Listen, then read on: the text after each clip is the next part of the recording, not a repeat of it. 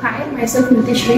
I completed BE in Sri Shakti Institute of Engineering and Technology, Coimbatore in the year of 2022. I joined QSpiders in the month of April.